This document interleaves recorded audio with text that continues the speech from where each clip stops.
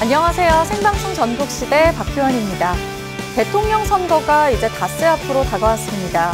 선거 공방이 치열해지면서 정책 검증보다는 네거티브가 난무하는 씁쓸한 상황이 펼쳐지고 있는데요. 게다가 어제부터는 여론조사를 하더라도 공표를 할 수 없는 이 깜깜이 선거전이 시작되면서 네거티브는 물론 가짜 뉴스까지 판을 치고 있습니다. 자, 이제부터는요, 선거일 전에 나오는 여론조사는 모두 가짜라는 사실 여러분 꼭 기억하셨으면 좋겠고요. 또 금품 선전이나 흑색 선전, 또 여론 조작은 법적인 처벌뿐만 아니라 우리 대한민국 민주주의를 후퇴시키는 주범이라는 거 꼭 기억하셨으면 좋겠습니다. 자, 요즘 보면요. 정말 한낮에는 여름을 방불케 하는 더위가 찾아오고 있습니다. 이런 때 아닌 더위로 인해서 인기를 받는 곳이 있다고 하는데요. 바로 살랑살랑 대숲바람이 일렁이는 5월의 그곳, 담양입니다. 특별한 휴식의 길을 기다리는 담양으로의 여행, 지금 떠나보시죠.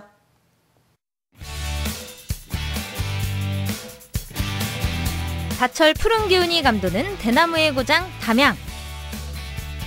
녹음지터 가는 5월 담양에서 불어오는 싱그러운 봄내음. 실록의 계절 대수 푸르른 그곳 담양으로 떠나봅니다.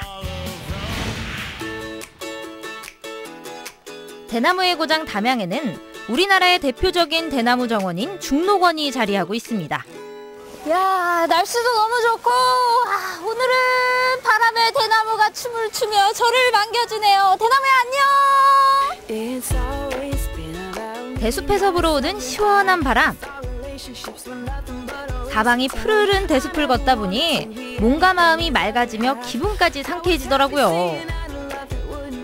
10만여 평 드넓은 대숲이 조성된 중록원은 담양의 명소 중의 명소로 연중 관광객들의 발길이 끊이지 않습니다.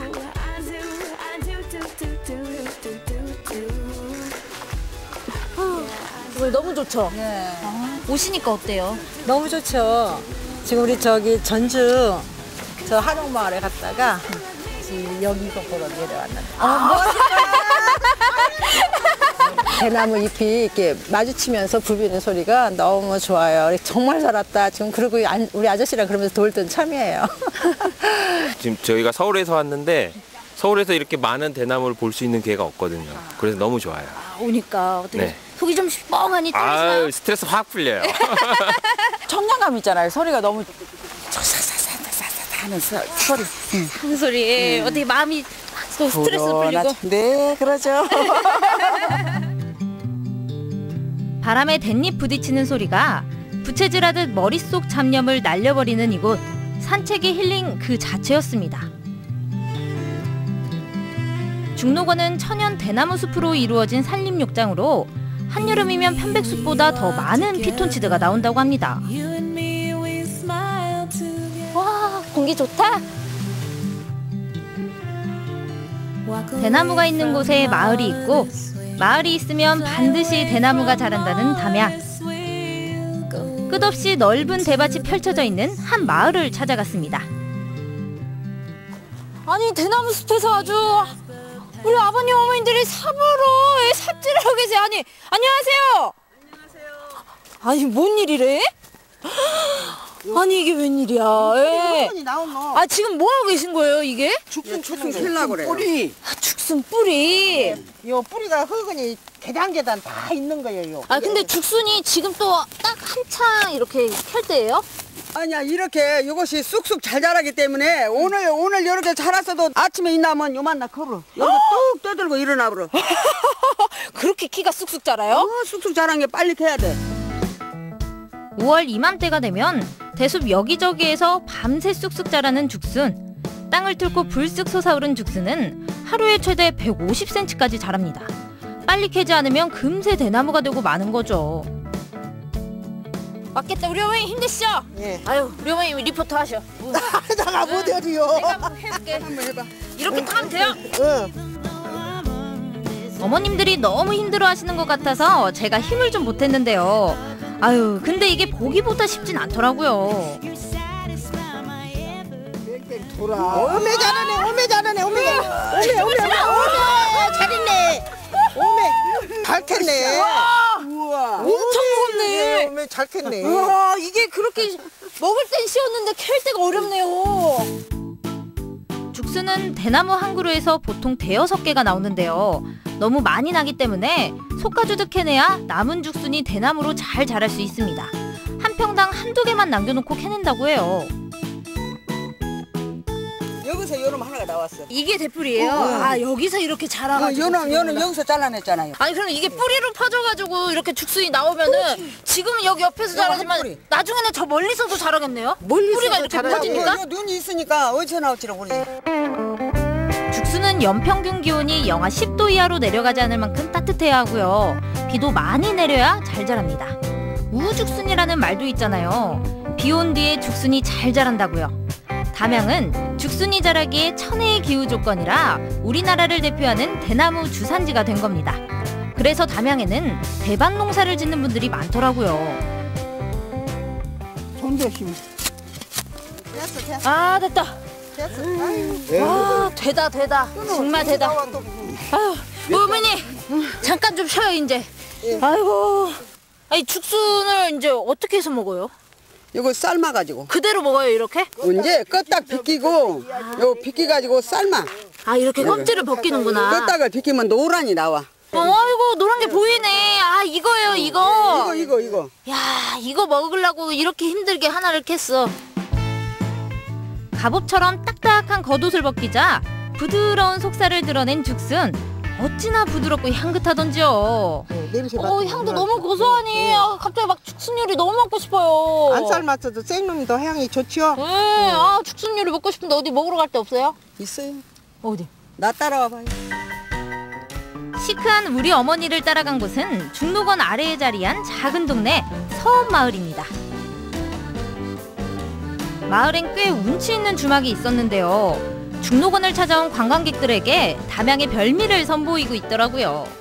여기가 딱 좋겠어요. 상도 크고 배고프니까 우리 많이 먹게 큰 상에 앉아요. 아 오늘 열심히 저희가 죽순 채취하느라 힘들었는데 뭐 드실래요? 예, 메뉴 좀 선택 좀 해주세요. 뭐가 맛있을까요? 죽순 홍어무침. 아 홍어무침 아우 그쵸 또 이 남도 죽순, 담양 홍어 빠지 죽순에 없고 해물 대통술. 파전 아 파전. 대통술 고되니까 우리 한 잔 또. 죽순은 웬만한 음식에 다 어울린다고 해요. 마치 버섯처럼요. 그래서 여기에선 죽순 안 들어간 음식이 없더라고요. 해물파전에도 죽순, 홍어의 무침에도 죽순이 들어갑니다. 정말 맛깔나게 보이죠?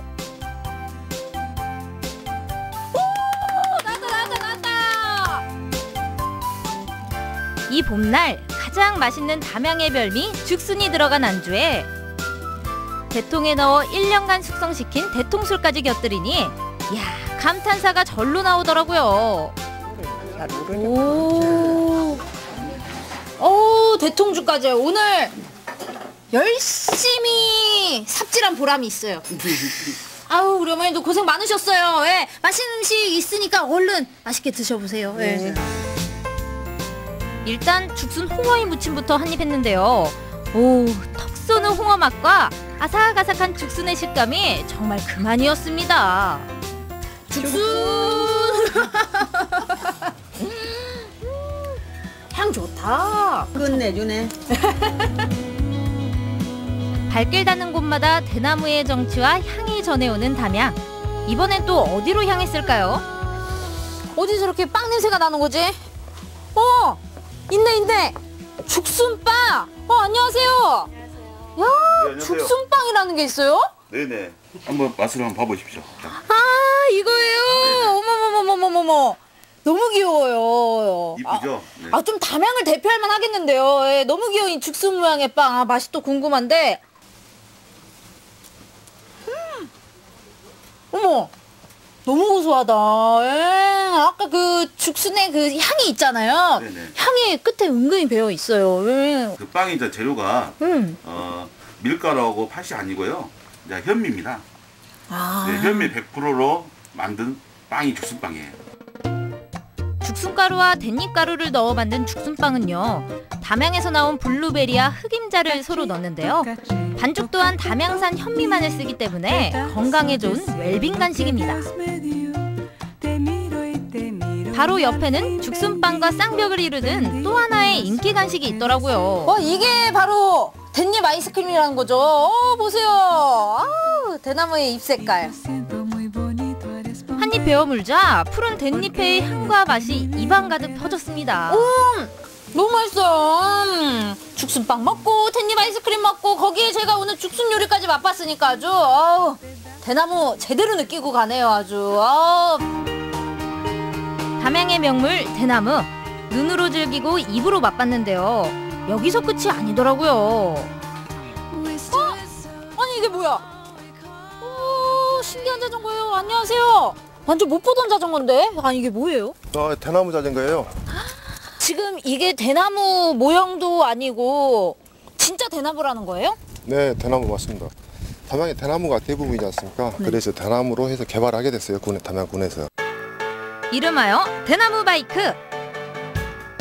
자전거의 뼈들을 대나무로 만들었는데요. 이게 쉬워 보인 것 같아도 연결이 참 어렵다고 해요. 소재가 지금 금속이 아니다 보니까 대나무는 엄청 가벼워요. 아 정말요? 네, 금방 할 수 있습니다. 어 힘이 세신 거 아니에요? 제가 한번 들어볼게요. 오, 오 정말로. 예, 기존에 저희가 흔히 타는 그런 자전거보다는 대나무라서 그런지 확실히 더 가볍네요. 전 사실 솔직히 타면 부서질까봐 살짝 걱정했거든요. 그런데 전혀 그런 걱정할 필요가 없더라고요. 역시 대나무가 가득해서 그런지 공기가 좋네요. 오, 자전거가 잘 버티네. 네, 대나무는 우리가 생각하는 것보다 강도와 탄성이 아주 좋아서 쉽게 부러지지 않는다고 해요. 자전거를 타고 가다 시선을 끄는 곳이 있어 차에서 들렀습니다. 음악 소리가 들려요. 오, 오, 신기한 조형물들도 있고 예사롭지 않아요. 아주 가봐야겠어. 오, 와, 뭐 하는 데지? 와, 아니 창고인 줄 알았더니 어, 내부가 완전 반전이에요. 와. 겉보기와는 달리 안은 분위기 있고 멋스러운 카페였는데요. 찾아오는 손님들도 정말 많더라고요.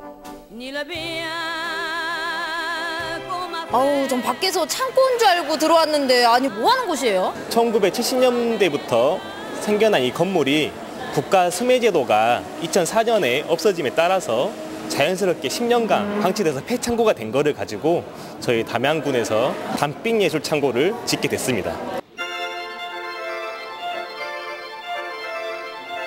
이곳은 카페뿐만 아니라 연주회와 전시회를 열며 다양한 문화 공간으로 활용되고 있었는데요. 제가 찾아간 날은 마침 연주회를 하고 있었습니다. 와 연주가 정말 대단해요. 아니 근데 저는 처음 보는 악기예요. 왜 피아노도 아니고 대체 무슨 악기예요? 어, 이 악기는 어, 대나무 파이프 오르간이라는 악기입니다. 네. 일반적으로 이제 교회나 성당에 설치되어 있는데 어, 담양에 특별히 이렇게 설치되어 있어가지고 제가 연주를 하고 있습니다. 아니 그럼 대나무 파이프 오르간이면은 뭐 소리가 좀 다른가요? 어, 네. 어, 대나무로 만들어져 있는 그 악기이기 때문에 어, 소리가 일반적으로 따뜻하고 온화합니다.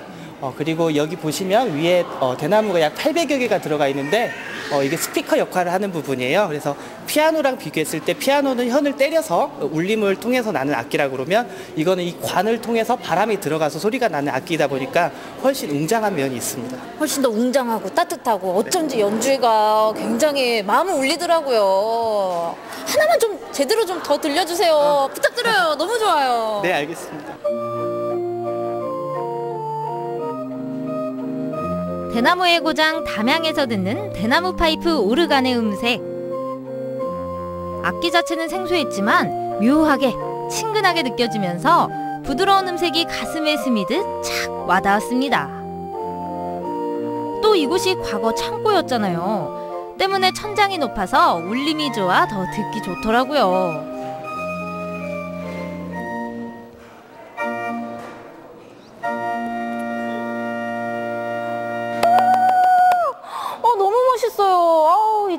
파이프 오르간이라서 그런지 아우, 소리부터가 느껴지는 게 정말 남다릅니다. 아우, 대나무의 매력은 끝이 없다니까요. 아우, 대나무 최고. 한국도 한국도 한국도 부탁드려요.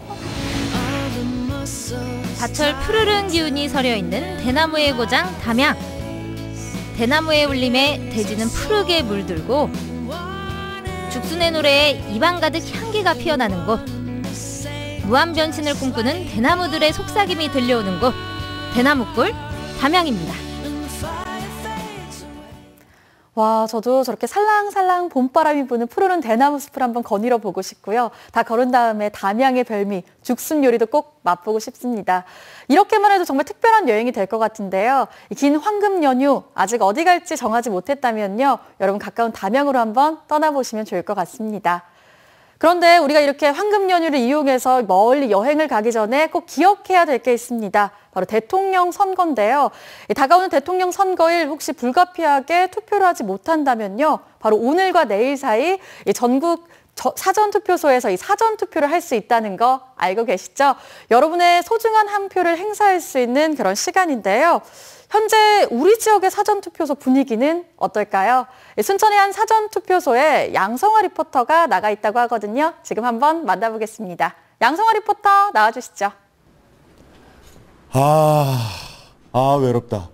아 외로워. 순천시 삼산동의 사전투표 현장에 나와 있는 양성화입니다. 아, 현재 시간이 이제 8시 하고 50분이 지나고 있는데 일어나신 시간부터 정말 많은 분들이 이곳 사전투표 현장으로 함께 잘 끌어오기고 있습니다. 아, 여기는 순천시 문화예술회관 1층 전시실 앞쪽인데 아, 많은 분들이 사전투표에 대한 기대감들이 높아지고 있거든요. 어떻게 이루어지는지 궁금한 점도 많고요. 2014년 6사 지방선거를 시작으로 해서 사전투표는 시작이 됐는데 대통령 선거는 이번이 처음입니다. 그리고 연휴 기간 안에 사전투표가 진행되다 보니까 더 많은 분들이 함께 투표하지 않을까라는 생각이 듭니다. 지난 총선 당시의 사전 투표율은요. 순천시가 20.2% 그리고 전국 단위로는 12.2%로 조금 달았지만 오늘 보니까 아침 이른 시간부터 많이 오시는 거 보니까 대박일 것 같은데요. 그리고 사전 투표 이번에 좀 변화가 좀 있습니다. 하면 안 될 행동들, 해도 될 행동들 어떤 변화가 있는지는 제가 말씀드릴 게 아니라 순천시 선거관리위원회 관계자분 모시고 이야기를 나눠보도록 하겠습니다. 박효은 아나운서가 자꾸 저한테 요즘에 누구 뽑을 거냐고 물어보는데 그건 알려드릴 수가 없고 자세한 내용은 잠시 후에 소개해드리도록 하죠. 저는 잠시 후에 돌아옵니다. 양성화였습니다. 뿅!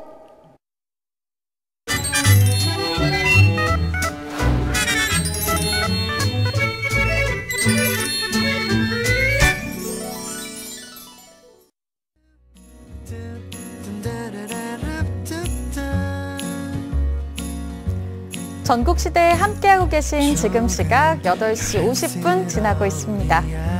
오늘 아침 기온 어제보다 1, 2도가량 높게 출발을 했습니다. 오늘은 고기압의 영향으로 오전에는 대체로 맑은 날씨 보이겠는데요. 하지만 오후 들면서 차차 하늘이 흐려지겠고요. 또 밤부터 비가 시작되겠습니다. 우리 지역에 내리는 비의 양은 5mm 내외로 그리 많은 양은 아니겠는데요. 이 비는 어린이날인 내일 오전 중으로 그치겠고요. 또 비가 그치고 나면 선선한 공기가 밀려오겠습니다.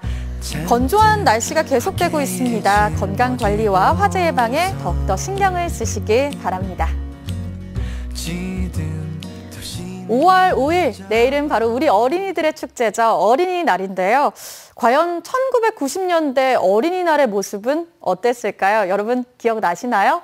바로 어제부터 행정자치부 국가기록원에서는요, 홈페이지를 통해서 기록으로 보는 5월의 풍경을 주제로 1950년대부터 1990년대, 뭐 어린이날, 어버이날, 스승의 날 등 다양한 이 축제의 모습을 좀 담아놨다고 합니다.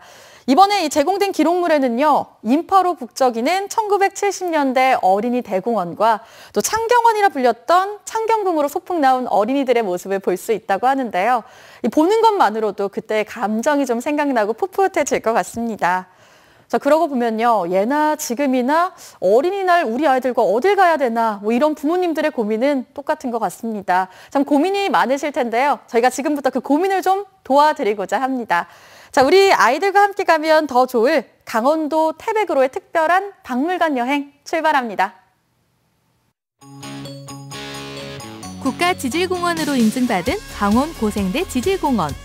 고생대 화석의 보고인 태백 구문소엔 지형 지질 체험학습장이 있는데요. 고생대의 지질 구조는 물론 3엽층의 화석을 볼 수 있어 인기입니다.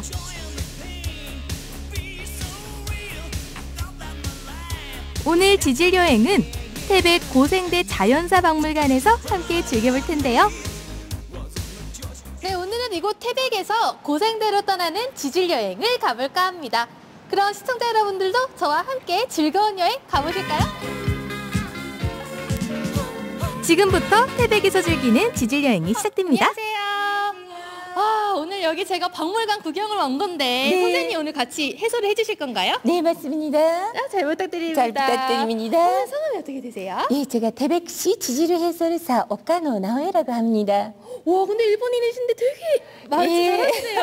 아니에요. 일본에서 왔기 때문에 아직 그 한국말이 정확하지 않습니다만 그 점 먼저 양해를 부탁드립니다. 아, 네, 네. 안으로 들어가시면 고센데르를 전기, 중기, 후기 세 시대로 나눠서 전시되어 있고 약 46억 년전 지구의 탄생부터 시작해서 어, 그 시대에 어떤 생물들이 살았는지 어떤 일이 일어났는지 네. 지지를 시대별로 자세히 보실 수가 있습니다. 그런데 전시실 입구부터 제 눈길을 단번에 사로잡은 이것. 과연 그 정체가 뭘까요?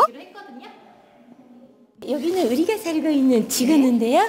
예, 지구의 46억 년의 역사는 24시간으로 나눠서 표시한 것입니다. 그 시계처럼 이렇게 나뉘어서 표현을 한 거구나. 예, 맞습니다. 그래서 크게 네. 네. 시대로 나눌 수가 있는데요. 네. 첫 번째는 성캄브리아대. 이때는 지구가 만들어지고 그리고 최초의 생명체가 나타났고 그 중에 시아노박테리아가 최초의 산소를 만들어지기 시작했습니다. 그러면 우리 이제 들어가서 성 캄프리아 시대를 구경하러 가볼까요? 예, 맞습니다. 네. 자, 드디어 시작된 선사시대로의 여행.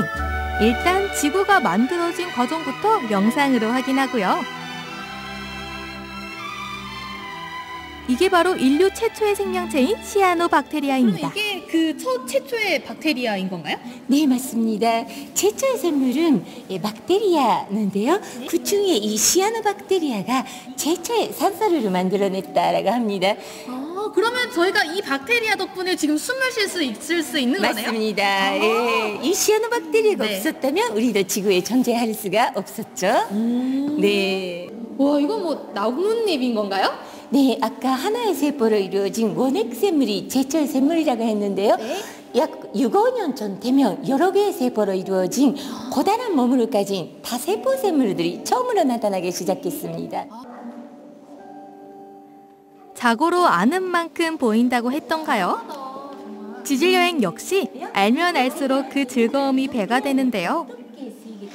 약 5억 4천만 년 전 아주 다양한 생물들이 폭발적으로 생기게 됐는데요. 음, 네. 네, 지금부터 그러면 약 5억 년 전에 바닷속에는 어떤 생물들이 살았는지 한번 보러 가실까요? 네, 그럼 코를 막고 물속으로 들어가 보겠습니다. 이거 너무 화면이 끄니까 어 진짜 막 앞에서 노는 것 같아요 물고기들이. 그러시죠? 네. 네, 지금 바다에 없는 신기한 생물들이 많이 살고 있었는데요. 네. 저쪽으로 나오는 것이 지금 예, 오징어의 조상 원시 선고조개입니다. 오징어 같이 생겼죠?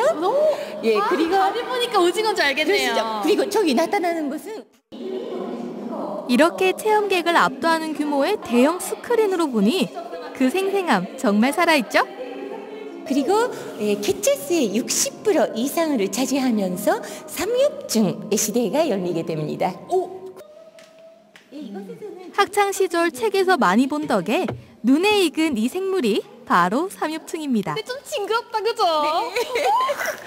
좀 그래 나는. 삼엽충은 5억 4천만 년 전 처음 출현해 고생대를 삼엽충 시대라고 부를 만큼 이 시대를 대표하는 생물인데요. 어 근데 여기는 이제 생물들이 바, 땅으로 올라오는 건가요? 네, 그러시죠. 네. 지금까지 모든 생물들이 바다에만 살았던 시대였는데요. 네. 중기거센대에 들어가면서 생물들이 육지로 진출하기 시작합니다. 진화를 거듭하던 생물들이 드디어 육지로 진출하기 시작했습니다. 자, 와 여기 선생님 근데 여기 한번 오면은 지구과학을 아주 다 알게 되겠는데요? 네, 그러시죠. 한 번에 이 지구의 46억 년의 역사를 보실 수가 있습니다. 오. 중기거 센대까지 봤습니다. 아. 지금부터는 후기거 센대, 그리고 준센대, 신센대를 보겠습니다. 야, 근데 우리가 살아온 그 시간들은 예. 예전에 비하면 정말 조그마네요. 맞습니다. 인류의 역사는 0.2초밖에 되지 않는다라고 합니다. 0.2초요? 예, 맞습니다. 드디어 건룡이 나타났는데요. 네. 가장 처음 나타났던 건룡은 작고 가볍고 두 발로 걷는 육식 건룡이었습니다. 네네. 그런데 시간이 흐르면서 굵기도 커지고 예, 전류도 다양해지면서 생태계 제3위 포식자로 군림하게 됩니다. 네. 그리고 우리나라에서는 흔히 중생대 화석하면 공룡 발자국부터 떠올리게 되죠. 5천만 년이라는 시간을 지배했던 건년들이 사라지면서 지금 신생대로 이어지게 됩니다. 이때가 우리가 지금 살고 있는 시대죠. 그리고 신생대의 중요한 사건으로서는 인류가 처음으로 나타났고 포유류가 크게 번성을 했습니다. 여기에 있던 이 포유류들이 보시면 예. 아유 다람쥐 이제 좀 친숙한 아이들 나오니까 최초의 인류로 여겨지고 있는 것은 오스트랄로피텍스입니다. 예, 맞습니다. 약 300만 년전 네. 나타났는데요. 예, 생김새는 원숭이로 가까웠지만 네. 두 발로 서서 걸어 다녔다는 것을 보시고 예, 제조 2010년 가을에 문을 연 이곳은 특히 우리 아이들의 체험학습장으로 인기인데요. 전시관과 체험장을 합쳐 총 3층의 규모로 아이들도 1시간 남짓이면 구석구석 모두 다 돌아볼 수 있습니다.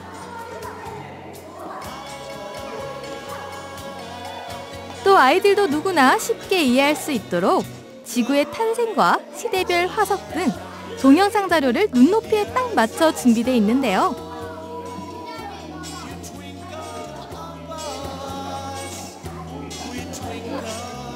하지만 아이들에게 최고의 인기를 누리는 주인공은 역시나 공룡.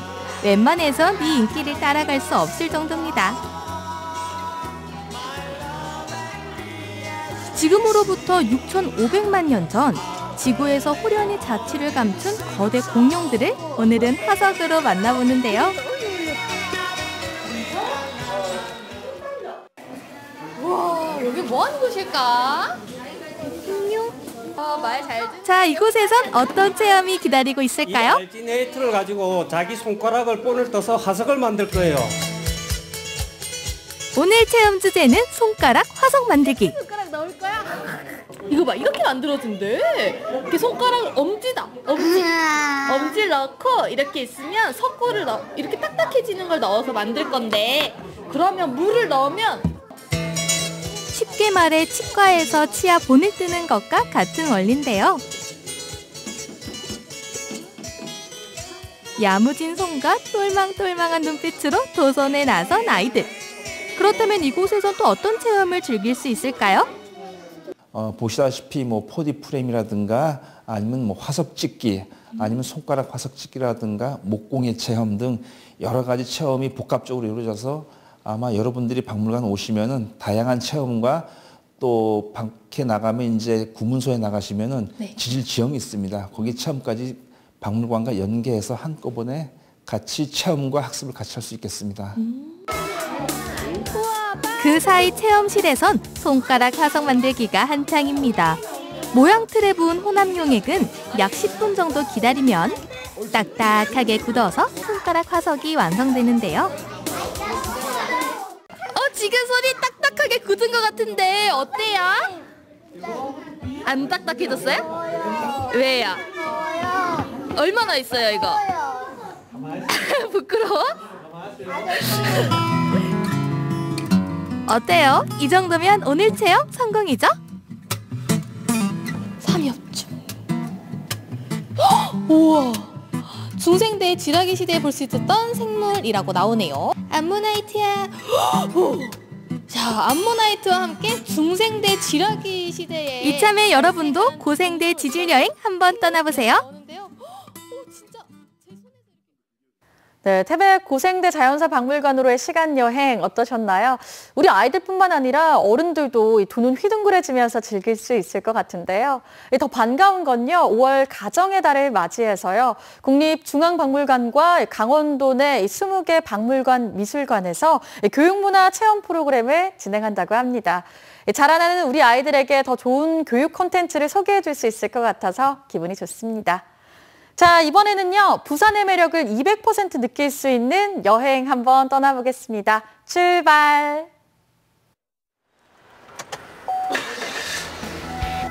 오늘 저와 기분 좋은 여행 한번 떠나실까요?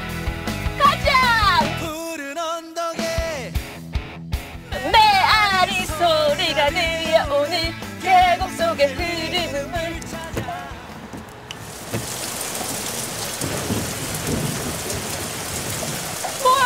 비 오잖아 여행은 무슨 으, 여행 가고 싶어 훌쩍 여행 가고 싶은 마음은 굴뚝 같지만 쉽게 떠나지 못하는 분들 많으시죠? 하지만 아쉬워하지 마세요. 오늘 저와 세계 곳곳의 음식을 맛보면서 신나는 맛집 여행 함께 즐겨보시죠. 첫 번째, 봄바람 타고 제주도로 슝 하고 날아갔습니다. 떠나요, 둘이서 모든 걸 풀풀 버리고 제주도 푸른 밤 이곳은 제주도 출신의 사장님이 제주 전통 방식의 맛을 그대로 만들어내는 곳이었는데요. 남녀 불문, 나이 불문, 단골 손님들로 가득했습니다. 와 이게 지금 뭐예요? 이게 보말이에요. 보말이 제주도에서는 요거 보말이라고 하고 여기서는 참고동이라고도 하고 밤고동이라고도 해요. 이 맞아요. 이거 고동이잖아요. 네. 아 이런 거구나. 네. 와 오늘 이걸로 뭐 만드시는 거예요? 이거 미역국을 만드는 거예요. 미역국요? 네. 어머. 이 사이에 모래가 있어서 모래를 빼야 되기 때문에 쭈물러 육수를 내는 거예요. 아 지금 이렇게 해서 모, 네, 네. 모래를 빼는 작업하는 거예요? 네, 네. 음. 바다 건너 제주에서 온 신선한 보말을 여러 번 헹구고 으깨서 남아있는 모래를 깨끗하게 제거해줍니다. 음, 우와 맛있죠? 네, 그 내장을 으깨서 그런지 바다 내음 딱 느껴지네요. 네. 음, 제주도 빨리 느껴보고 싶어요. 음. 싱싱한 보말을 다시 한번 헹군 다음 체에 걸러 물기를 빼내고 팔팔 끓는 미역국에 보말에 영양 가득 담긴 물을 넣어 맛의 깊이를 더해줍니다. 고명으로 보말에 전복까지 아낌없이 넣어주면 제주에서도 맛보기 힘든 명품 보말 미역국이 완성!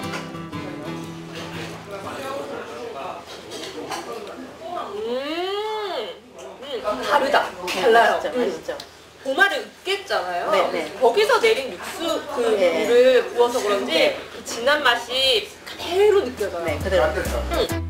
제가 소고기나 조개 미역국은 먹어봤지만 보말 미역국은 텁텁하지 않고 개운한 새로운 맛이었습니다. 게다가 완도에서 잡아 올린 전복까지 음! 오동통! 한 그릇 보양식에 몸보신 제대로 했습니다. 이것도 한번 드셔보세요. 어머! 모자반. 모자반. 제주도 말로는 몸이고 몸이가 몸이다. 네.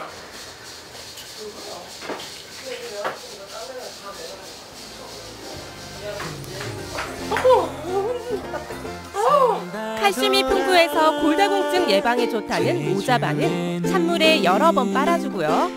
특히 이곳에선 사골 대신 돼지고기 육수를 써서 더 깊은 맛을 낸다고 합니다. 그런지 국밥 느낌도 나요.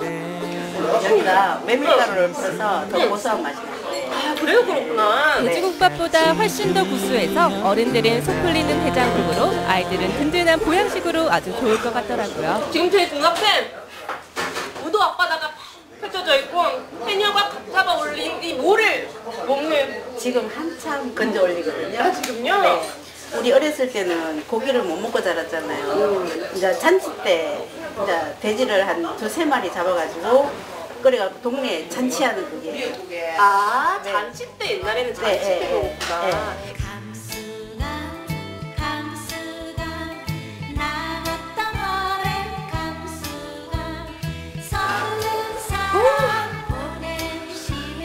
여기가 바로 제주도다! 후! 제주의 맛을 느끼고 싶은 분들은 혼자 없어해. 이번엔 바다 건너 향신료의 나라 태국으로 가볼까요? 태국에 왔습니다. 태국의 날씨는 이렇게나 화창하네요. 현지에서 맛보는 맛은 또 얼마나 맛있을까요? 지금부터 가보실까요? 사우디카! 여기로 들어가면 태국입니다. 진짜 태국이다. 인테리어부터 곳곳의 소품까지 정말 태국 분위기가 물씬 풍기던데요. 이국적인 맛을 즐기는 젊은 손님들이 제법 많더라고요. 사우디카. 아, 안녕하세요. 아이고. 여기도 한국 분이시네. 여기 태국이 한국 사람들이 많이 오나 봐요. 네.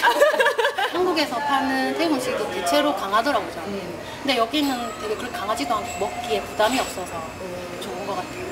맛있어요. 태국 요리 되게 좋아하고 태국에서 자주 가는데 그래도 어, 근처에서는 가장 태국이랑 비슷한 맛이 나는 것 같아요. 우리 애기도 맛있게 먹었어요? 코쿤카. 뭘 먹어야 되지? 저기요. 안녕하세요. 제가 오늘요 예. 비가 하루 종일 와가지고 예. 태국을 갔어야 되는데 태국을 못 갔어요. 저희 주방은 그 태국 분 두 분께서 지금 조리를 하시고 계시거든요. 아 태국 분이 직접 요리한다고요? 예, 예. 주방에선 태국 출신의 주방장이 한국에선 쉽게 맛볼 수 없었던 카레인 맛사만 커리를 만들고 있었는데요. 태국 요리답게 색깔부터 붉은 게 매콤한 맛이 절로 느껴지죠. Wow, you look very professional. What is it? Curry. uh, red curry, massaman. 맛사만 커리. 네, 어. 오, 다 알아들었어, 다 알아들었어. 두 번째 요리는 홍합, 새우, 오징어 등 해산물에 쌀로 만든 당면과 채소를 넣어 새콤한 소스와 버무린 태국식 샐러드 얌운센이고요. 다진 돼지고기에 향긋한 태국산 바지를 넣어 만든 태국식 떡밥, 카파오 무쌉까지 완성! 음, 태국 향이네. 안 가봤는데 태국 향이네. 근데요, 예. 이거는 닭볶음탕, 예. 이거는 제육볶음, 시곤양 무침. 태국 음식 맞아요? 예, 맞습니다. 진짜 태국 음식 맞아요? 태국 가보셨어요? 태국 저 지금 태국 안 가봤다고 지금 저 놀리시는 거 아니에요? 아, 아닙니다. 제가 보증합니다. 샐러드 양문샘부터 야문센요. 오, 해산물 샐러드. 해산물 샐러드요. 약간 시큼하면서도 달콤하고 예. 짭조름한 맛이 다 있네요. 그렇죠. 음. 태국의 독특한 향신료 문화 때문인지 향뿐만 아니라 맵고 달고 짭조름한 여러 맛이 입안에서 동시에 느껴지더라고요. 이거는 조금 향은 독특한데 맛은 제육덮밥이랑 조금 비슷한 것 같아요. 그렇죠. 맛사만 커리는 이렇게 밥에 비벼 먹으면 한국 사람 입맛에도 딱 맞아서 계속 손이 가더라고요. 제가 CN에서 전 세계 이제 제일 맛있는 음식을 이제 선정하는 이제 그런 게 있습니다. 네, 맛사만 커리가 거기서 이제 1등을 이제 했거든요. 저는 태국을 한 번도 갔다 온 적이 없는데요.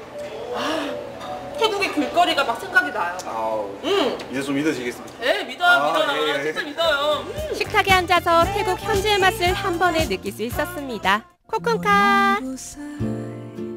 마지막 여행지는 동남아시아 중에서도 자연에 취하고 맛에 취하는 베트남. 그 정체를 찾아 발걸음을 서둘렀는데요. 베트남 전통 모자 논이 잘 어울리죠? 진짜 베트남 거리를 걷는 것 같았습니다. 가게엔 외국인이 제법 많았는데요. 실제로 한국에 사는 베트남 사람들이 고향의 맛을 찾아서 자주 들리는 곳이라고 합니다.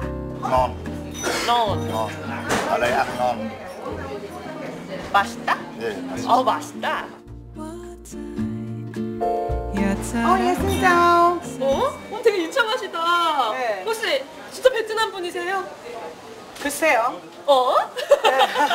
베트남 사람입니다. 어 정말요? 네. 어머 이렇게 농담까지 하실 정도로 그러면 우리 사장님께서 진짜 이것이 베트남이다 저한테 한번 소개를 해주시죠. 따라오세요. 따라올까요? 갑시다. 가시까? 오케이. 한국 생활 12년 한국인과 베트남인의 입맛을 동시에 사로잡은 특별한 요리를 공개합니다. 찹쌀, 코코넛 크림, 강황가루를 넣고 반죽한 전에 각종 고기와 채소를 넣어 만든 베트남 전통전 반새우가 뚝딱! 다음은 만두소를 만들듯 재료를 버무리고 만두피 대신에 라이스 페이퍼에 돌돌 말아 깨끗한 기름에 한 번 튀겨주면 속이 꽉 찬 짜요가 완성됩니다. 와, 이 반쎄오랑 짜요. 짜요. 응. 보기에도 좋고 맛도 좋을 것 같은데 우리 맛있게 먹는 방법을 한번 알려주세요. 알려드릴게요. 간단하게 이거 제가 네. 썰어서 라이스 페이퍼. 라이스 페이퍼를 네. 네, 네, 물에 참 간단하게 담아서 아 이렇게 싸고 네, 이거 사서 네. 쌈싸 먹는 것처럼 해서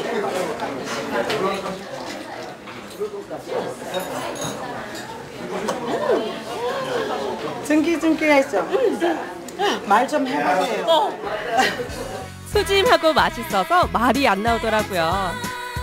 베트남 음식은 담백한 맛이 특징인데 소스 듬뿍 찍어 먹으니 제 입맛에도 딱 맞춤이었습니다.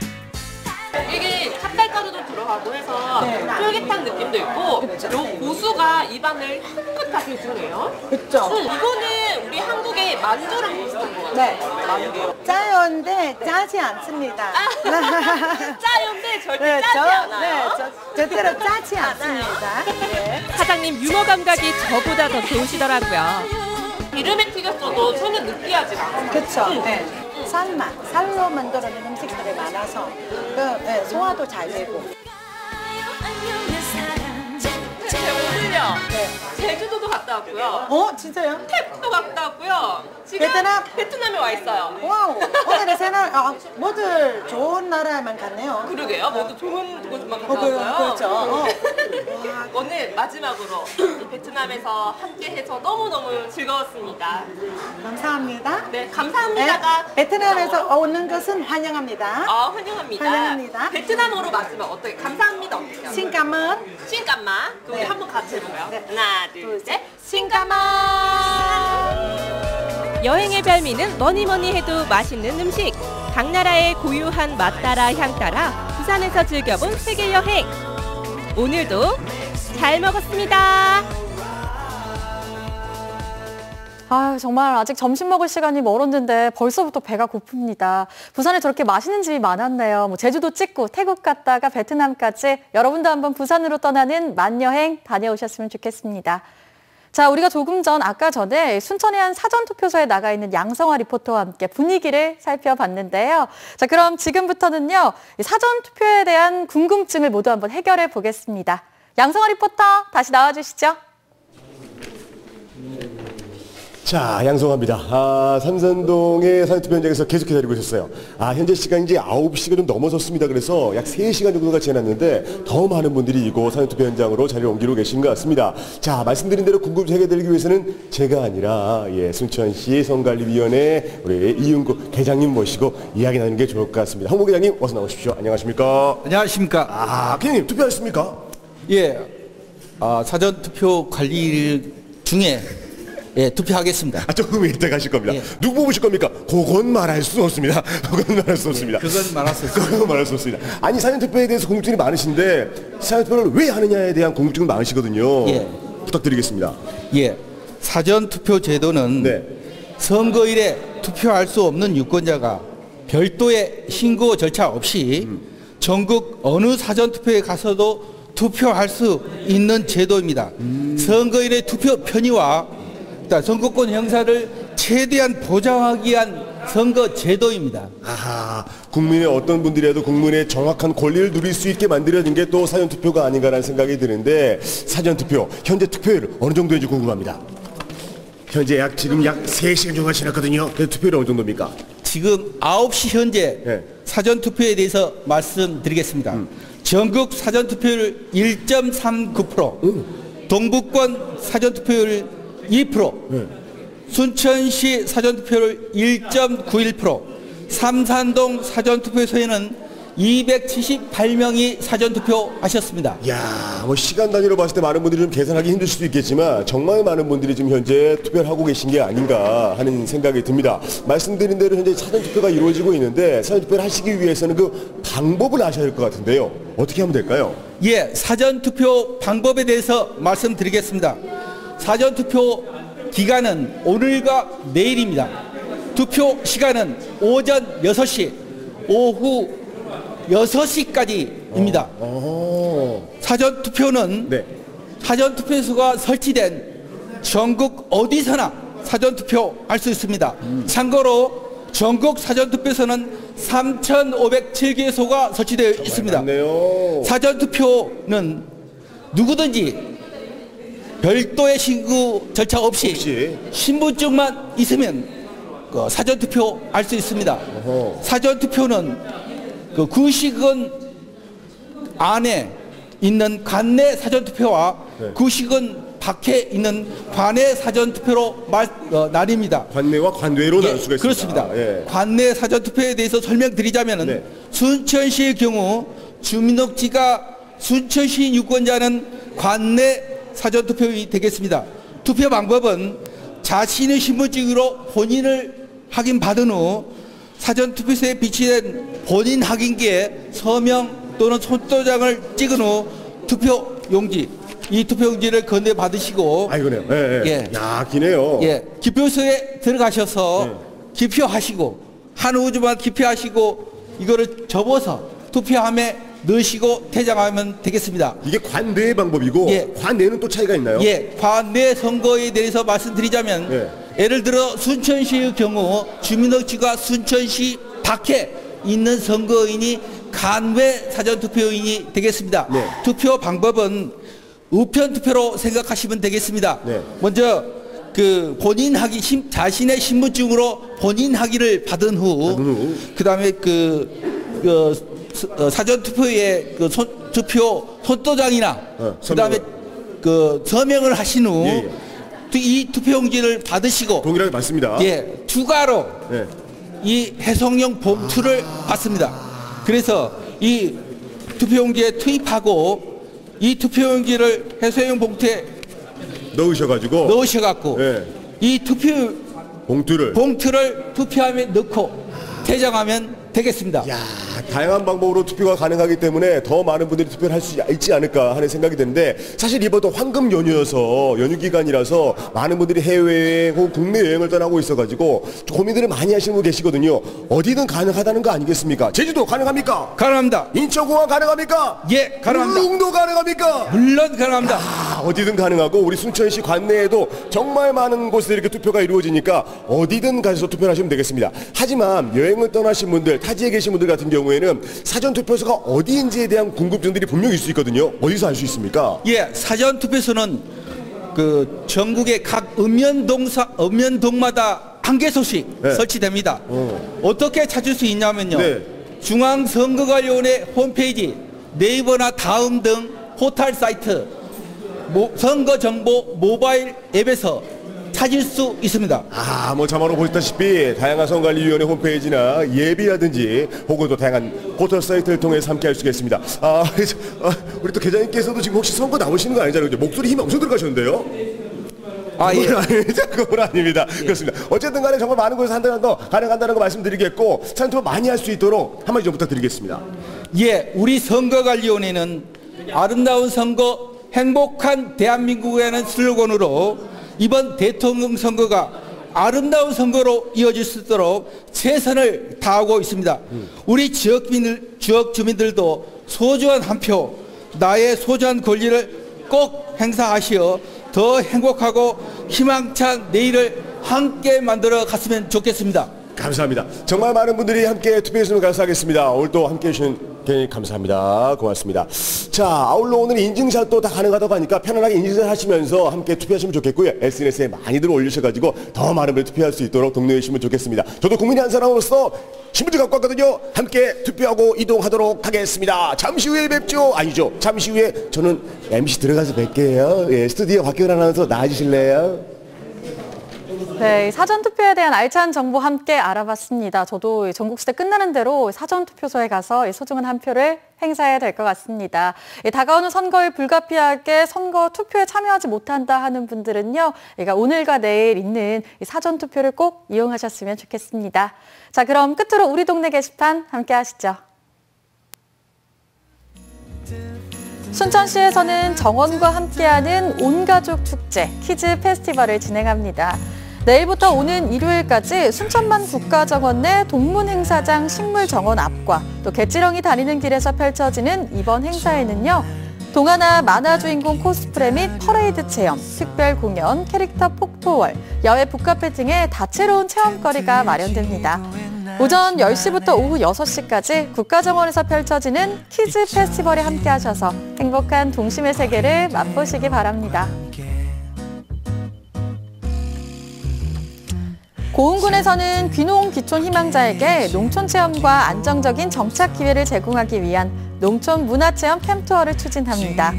다음 달 19일과 20일 1박 2일 동안 진행되는 이번 팸투어 행사에 참여를 원하는 분들은 5월 10일까지 고흥군 농업기술센터로 신청하면 됩니다. 생방송 전국시대 저희가 준비한 소식은 여기까지입니다. 고맙습니다. 한참 가도 가도 끝이 없는 이 길은 어딜까